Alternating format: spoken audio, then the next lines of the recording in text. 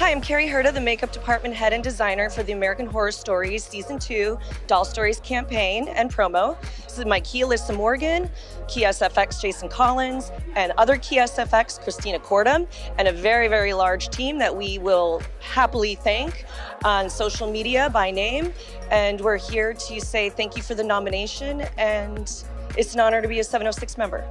Hi, my name is Dominie Till. Thanks for the nomination for Medusa Best Commercial and Makeup. I wanted to shout out to my team Christien Tinsley, Tinsley Studios, Gunn Espegard, Alexis Williams, Miles Teves, Eric Harris, Heather Albert, Dan Crawley, Josh Foster, and Jessica Nielsen.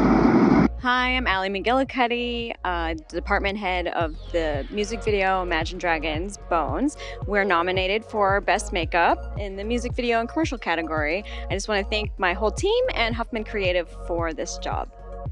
Vote for us! Thank you.